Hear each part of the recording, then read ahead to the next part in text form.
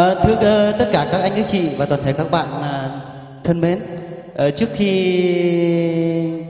uh, thể hiện ca khúc uh, bài ca kỷ niệm thì mưa bụi trước kia mà hiện, uh, mưa bụi với Itikun thể hiện ca khúc bài ca kỷ niệm này thì mưa bụi cũng nói sơ qua về ca khúc này một chút. Uh, cũng nhân dịp sinh nhật sàn vừa qua thì mưa bụi cũng nói qua một cái cái cuộc thi trên này rồi. Đây là chính cái ca khúc mà mưa bụi mang đi thi.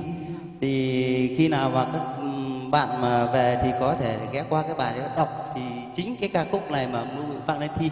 Thì xin mời sau đây là xin mời tất cả các à, anh các chị và toàn thể các bạn à, nghe, nghe xong ca của mưa bụi với lại Itikun ca khúc này.